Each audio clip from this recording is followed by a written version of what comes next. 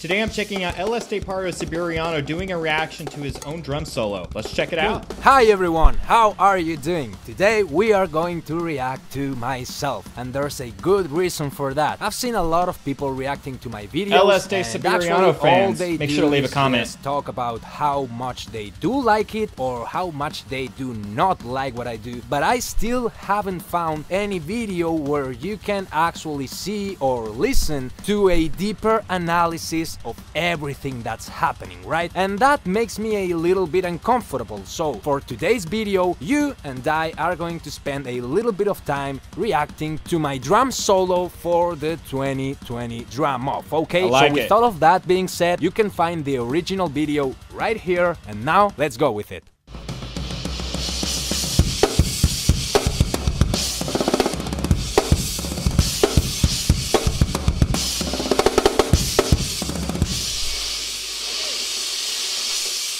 Okay, now a lot of people were very rude with me because I started so loud, right? People wanted me to go like, Now, that's boring. However, they only gave us three and a half minutes in order to perform the whole solo. So I thought, let's start big. Let's open the door with a chest kick, right? And that is exactly what I did. Now, I played some hits and just threw some single strokes over there, some paradiddles over there. Maybe I do not remember everything, but it was something like this.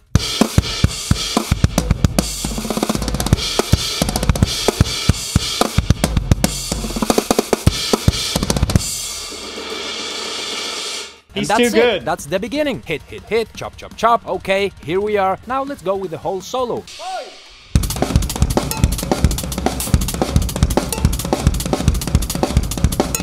I love how he's breaking this down for us.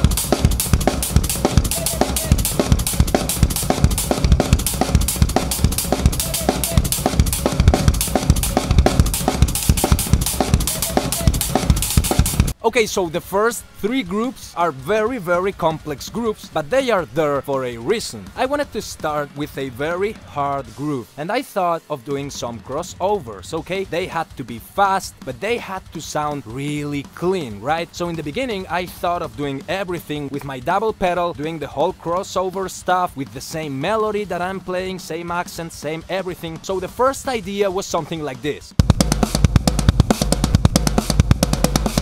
So seamless. You can play that fast as fuck, and it's going to sound very nice.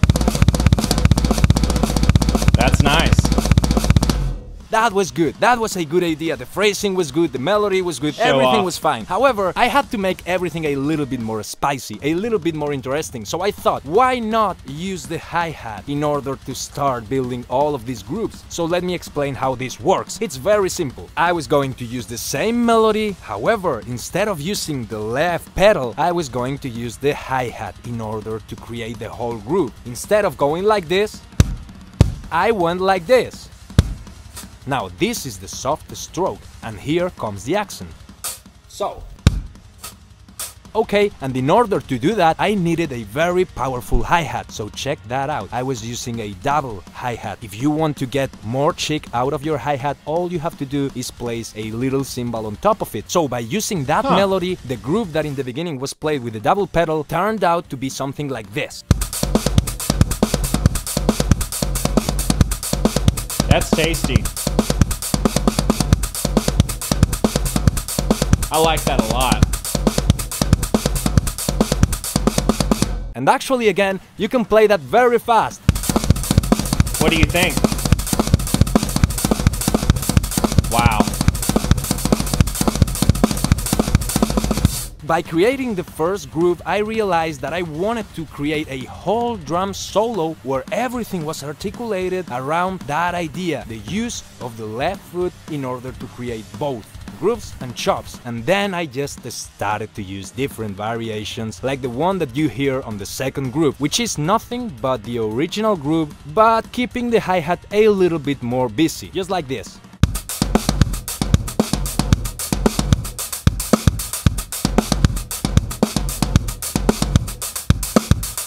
Now, of course, I don't have the auxiliary hat that I used to have back in the day. However, it may sound different, but it is actually the same group. So let's keep going. Got the cowbell.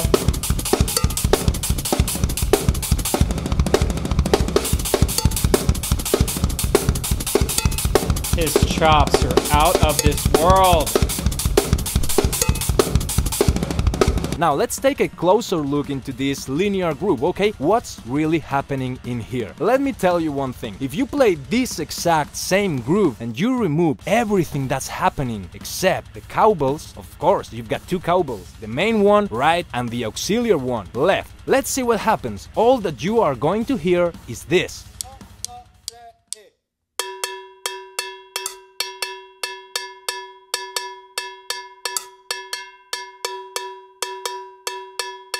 Sounds pretty simple to me. And on the second group, you are going to hear this.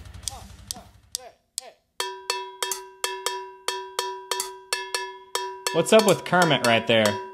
Now, why is that interesting? Because they are linear groups. Yes, they are. But there are four patterns that keep happening all over these groups. I wanted to create something very complex, so I thought, let's use the Latin claves, okay? I wanted to use the four claves 3, 2, rumba, and son, and also 2, 3, rumba, and son. So what I did was, my right hand is playing the son claves. Ta, ta, ta, ta ta ta ta ta ta ta. But my left hand is also playing the accent that would turn the son clave into a rumba clave. Ta ta ta ta ta ta ta ta ta. And same thing happens with the two 3 clave. So I really liked that idea and it was a very big challenge because I wanted to create a group, a very complicated linear group, but keeping those patterns happening. And if you stop and listen to everything carefully, what you listen constantly are all the claves going on. 3, 2, 2, 3, rumba, son. They keep happening with the cowbells and everything else is just there to distract you, okay? Everything else is just there in order for you not to know what's happening, but the real thing that's happening is you are witnessing a linear groove, but the main melody that keeps happening are the claves, okay? Check this out.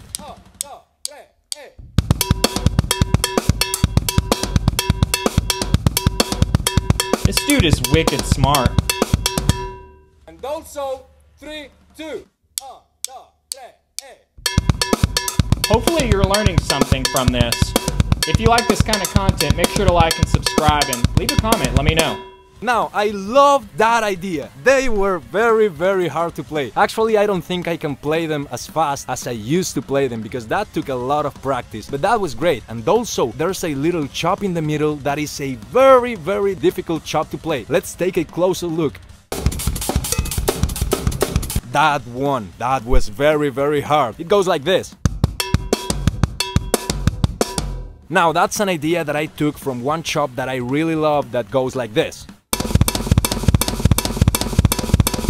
So I thought, yeah, let's use that in order to change from the 2-3 claves to the 3-2 claves. And it really worked, so let's keep watching.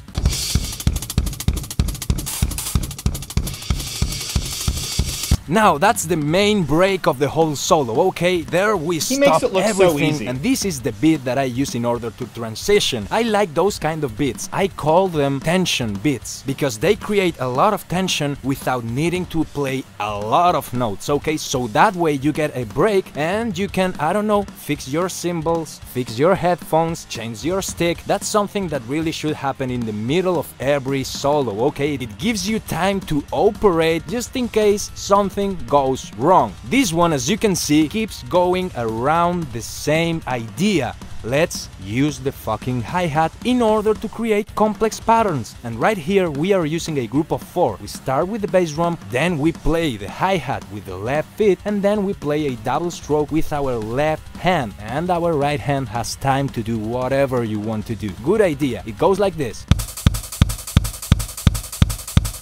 And now here comes the hardest part of the whole solo.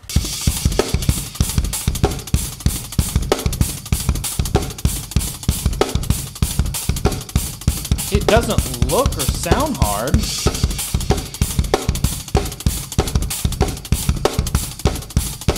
The multitasking is what's going to get everybody on this. Okay, so I wanted to use that break in order to build a very complex groove. The initial idea was to play a groove by using the same break, the same tension groove that I have just shown you. However, since it's just a group of four, it sounded too simple, okay?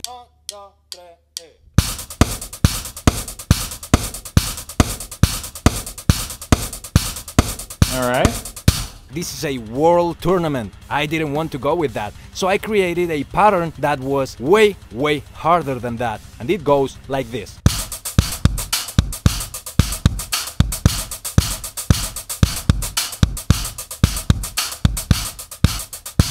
Now, that was the whole pattern that was going to keep happening with all my body, like that was the original ostinato. And now in order to create a couple of groups, all that was left for me to do was to be able to coordinate that pattern all over again while changing the placement on the snare. On the first part of this the group, dude I'm playing what the he snare is on the doing, three, man. And on the second part, I'm playing the snare on the two. Check this out.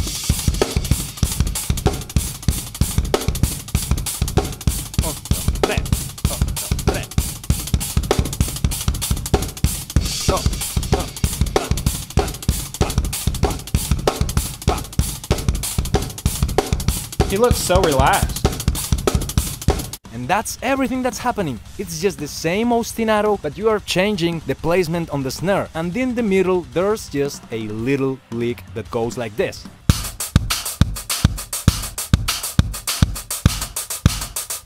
Everything else is just playing it, which is Sounds actually so very good. hard. Very fucked up, but I really enjoyed it. Let's keep going.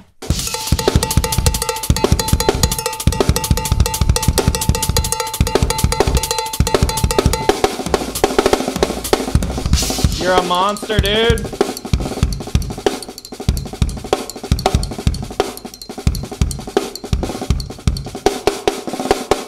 They're just linear groups, you know.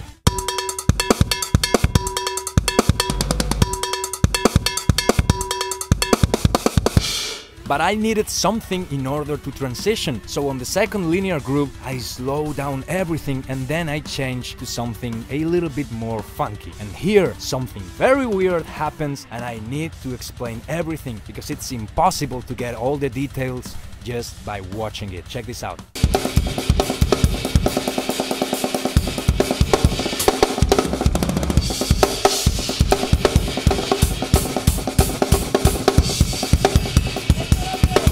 Now you listen what I said.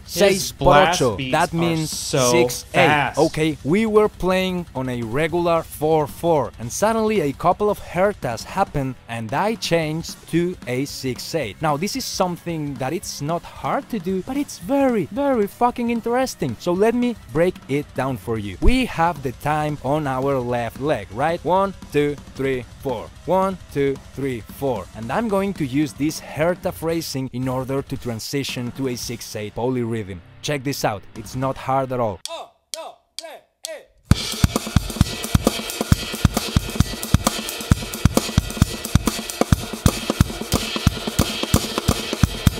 It's not hard at all.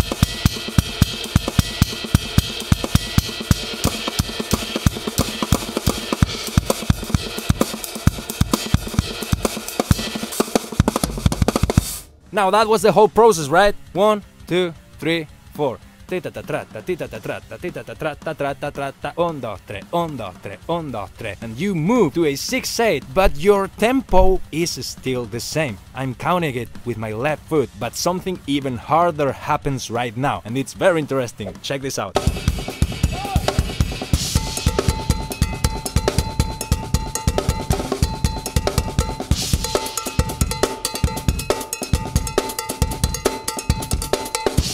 Now, I don't know if you realized, but when I changed to the cowbell, my left foot started to play a 6-8 clave. Okay, you could hear it on this bell right here, and then if you pay close attention, my left foot joins. So the pattern is this.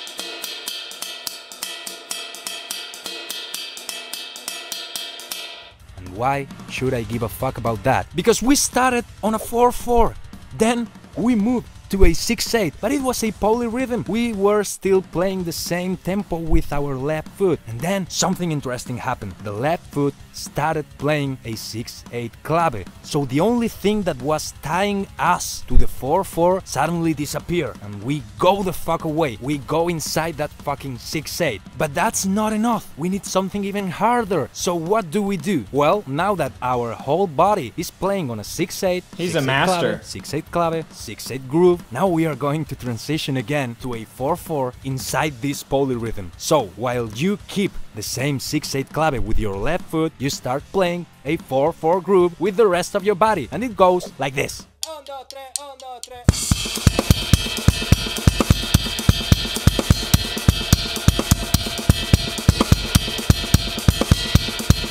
He's an entertainer too, man.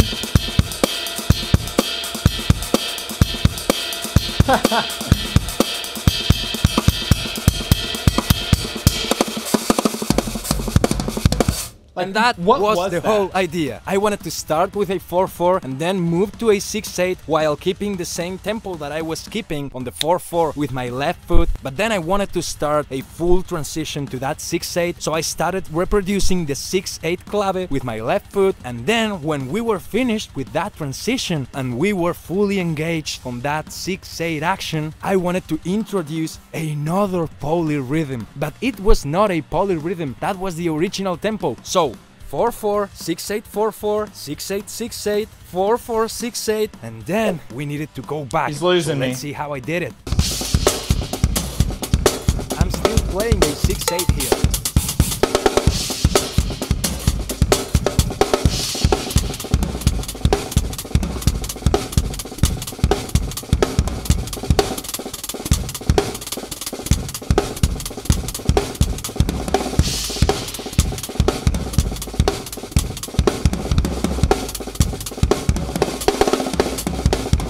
That was just madness. Okay, the first groove that I'm playing is a classic Spanish. I don't even know what to I say think it's that. called tumbao or something like that. It's usually used in flamenco and bulerías, and it sounds like this.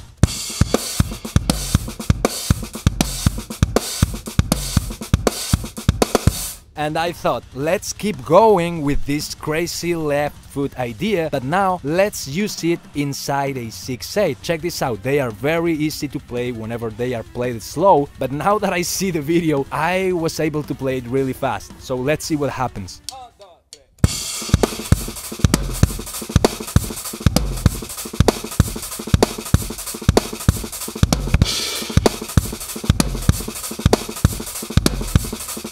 Doesn't seem too hard.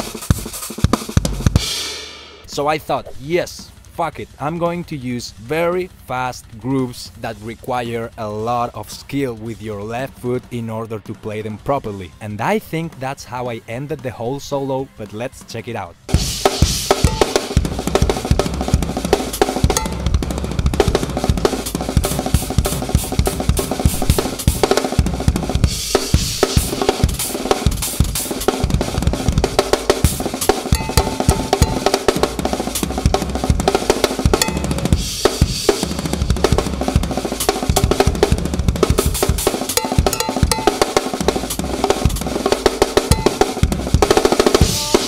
Is he the and then you just chop around in order to he end the greatest of solo. all time? So yes, this may have been a very boring reaction, but I have always wanted to explain all that was happening on that solo. And we because I think appreciate it. It's not only hard, but also it's very interesting. Noise, chops, and all that shit. But all the linear groups had something. We had the claves, then we had the transitions, the polyrhythms, the use of the hi-hat that kept happening again and again on every single fucking beat. And I guarantee you that is very hard. Try it at home. Fucking try it at home. It's unbelievably hard and also it's very interesting. So there are a lot of interesting concepts that were a very hard challenge for me at that time, but that actually nowadays are still a challenge. So please, again, here's the fucking solo. Watch everything, pay close attention, and if you can find any kind of groove or information or idea that works for you, try to develop develop it because I have spent the last two years of my life developing the ideas that I presented on that solo. As always,